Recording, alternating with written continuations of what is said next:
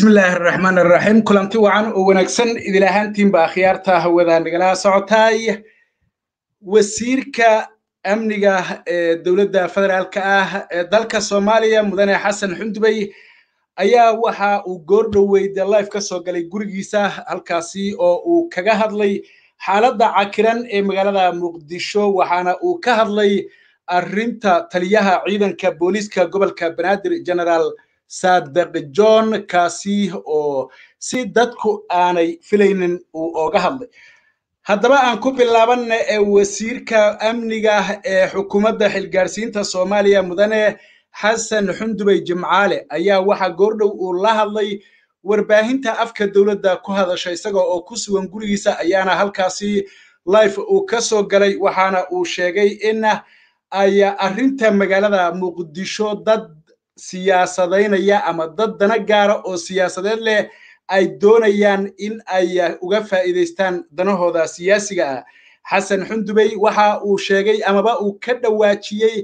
inaanay jirin wax qorsho ah amaba wax ajenda ah oo maamulkiisa ama maamulka uu ka midka yahay ee farmaajo uga yaalla soo qabashada amaba weerar lagu qaado taliyaha ciidanka booliiska gobolka banaadir generaal sadeq john kaasi oo maalmihii la soo dhaafayba isaga iyo ciidamada maamulka villa soomaaliya uu loo lamba'ani ugu dhexeeyey gudaha magaalada muqdisho. Waxa uu sheegay haddii ay qorshaynayaan amaba haddii ay dan ka leeyihiin weerar ka dhan ah sadeq john in ay qaadi lahaayeen saacadihii hore ee maalinnimadii ay dhibaatadu ka bilaabatay xarunta baarlamaanka dowladda federaalka ah halkaasi oo sadeq john uu sheegay in gebi ahaanba la joojiyey kulankii baarlamaanka ee la doonayey in ay baarlamaanku muddo kororsi ku samaystaan uguna sameeyaan villa soomaaliya waxa uu sheegay in arrimo badan uu jira awgood waa sida uu hadalka u dhigay aanay dowladdu wax dan aba ka lahayn weerarka sadeq john. Balse waxaad moodaa marka la fiiriyo ficilada iyo waxyaabaha u muuqda shacabka soomaaliyeed iyo waxa afka laga leeyahay in uu farqi weyne u dhexeeyo amaba ay yihiin laba arrimood oo aad u kala fog amaba af iyo uur iskhilaafsan. Wasiirka amniga ee villa soomaaliya waxa uu sheegay in loo baahan yahay magaalada muqdisho in nabad loo daayo. Wasiirku isaga oo madluunsan aadna aad moodo in uu u niyad jabsan yahay ayaa waxa uu dadka xasuusiyey in muqdisho dhibaato badan ay soo martay. Haatanna loo baahan yahay in aan dib loogu noqonin dhibaatada iyo weliba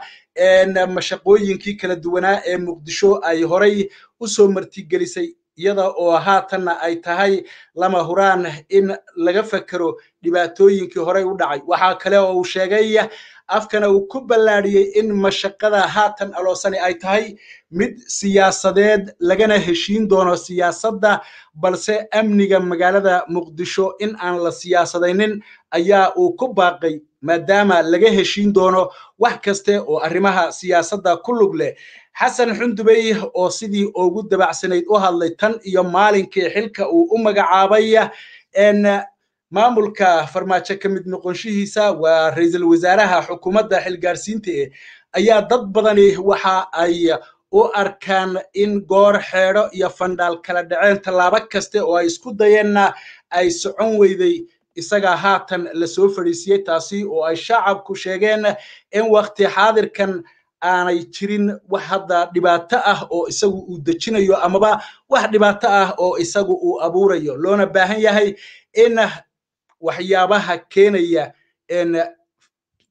ammaan darrada iyo isku guurguurka habeennimo iyo ciidamada magaalada muqdisho maansheeyey in ay maamulka farmaajo sida ugu dhaqsaha badan wax uga qabtaan ciidamadana ay ugu celiyaan goobahoodii arrimaha ku darsiga iyo sidoo kale labadaa sanana meesha laga saaro kadibna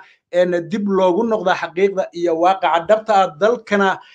si rasmiya taladiisa ay uga wada tashadaan. Guud ahaanba shacabka soomaaliyeed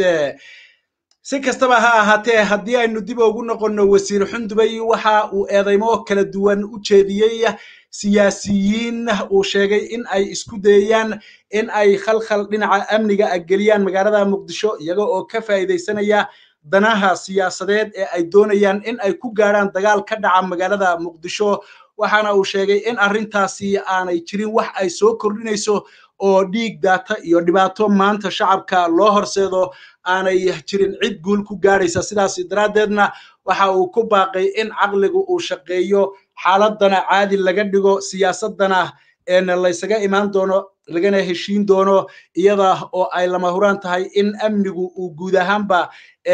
khuseeyo shacabka ku dhaqan magaalada muqdisho dhammaantoodba ama maamul ha ahaadaan ama yaysan ahaanine. Si guud ayaa shacabka muqdisho uu oola hadlay isagoo ugu baaqay in aanay jirin wax weerar ah oo ka dhan ah taliyaha ciidanka gobolka banaadir generaal saadiq john oo isagu ku sugan haatan degmada hodan gaar ahaan xaafadda shirkole ofishaale waxaana uusan ka hadlin qorshayaasha kala duwan ee ciidamada tirada badan ee magaalada dhexdeeda ay haatan dowladdu soo dhoobtay kuwaasi oo iyagu muujinaya in dowladdu ay wadato qorshe ay ku doonayso weerar ay ku qaado generaal saadiq john iyo ciidamada uu hogaaminayo ma aanu sheegin in ciidamadu ay waa kuwa maamulka villa soomaaliya ee ay dib ugu noqonayaan goobihii laga keenay iyo in halkooda ay sii joogayaan. Waxaase uu sheegay kuna celceliyey inaanay jirin wax weerar ah oo ay ku qaadayaan taliyaha ciidanka booliiska gobolka banaadir oo in dhowaalaba uu loolan kala dhexeeyey siyaasiyiinta ayuu ugu baaqay dhankooda in ay xaaladda dejiyaan oo ay ka shaqeeyaan amniga maadaama haatan lagu jiro bil ramadaan loona baahan yahay in amniga si guud looga wada shaqeeyo. Hadalka ka soo yeedhay wasiirka amniga ee xukuumadda xilgaarsiinta ah ee magaalada muqdisho uun ka arrimisa ayaa waxa uu ka dambeeyey kulan villa soomaaliya ku dhex maray ra'iisul wasaaraha xukuumadda xilgaarsiinta iyo labada madaxweyne dowlad goboleed ee hirshabeelle iyo koonfur galbeed kuwaasi oo maxamed cabdullaahi farmaajo u gudbiyey qorshaha amaba go'aan la sheegay in uu ku saabsan yahay mowqif ay ka qaateen muddo kororsiinta labadaas sana ah kaasi oo maalinimada isniinta ah ee inagu soo foolena shir lagu qaban doono magaalada muqdisho oo beesha magaalada muqdisho degan ay yeelanayso. Shirkaasi ayaa waxaa laga soo saari doonaa go'aan rasmi ah oo dadka gobolka banaadir ku dhaqan ay ku shaacinayaan mowqifka muddo kororsiga labadaas sana ah. Kaasi oo waxa uu noqon doono ilaa iyo haatan si rasmiya aan looga warqabin balse dad badani ay ku doodayaan in lagu qaadici doono lagagana hor imaan doono muddo kororsiga labadaas sana ah. Sidaa xogta aanu ku helayno kulankaasi ayaa cali guudlaawe iyo axmed cabdikaariye qoorqoor farmaajo ugu gudbiyeen mowqifkooda ku aadan. Inta uu ku dhawaaqay inaanay jirin wax weerara oo ay la beegsanayaan generaal saadaqa cumar xasan taliyaha ciidanka booliiska gobolka banaadir la filayaa in ay ka rayso oo ay ka baxdo khalkhalkii dhinaca amniga iyo weliba ciidamadii tirada badnaa ee dhinacyada kala duwan ay magaalada muqdisho soo dhoobeen. Sida ay dooniba ha noqotee kolba wixii ka soo kordha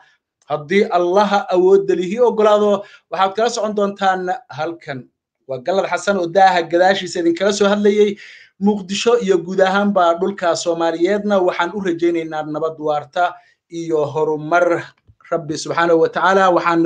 ka rajaynaynaa in caqligu uu shaqeeyo ee aanay calooshu shaqaynin. Meel kasta oo aad joogtaanba ramadaan kariim ayaan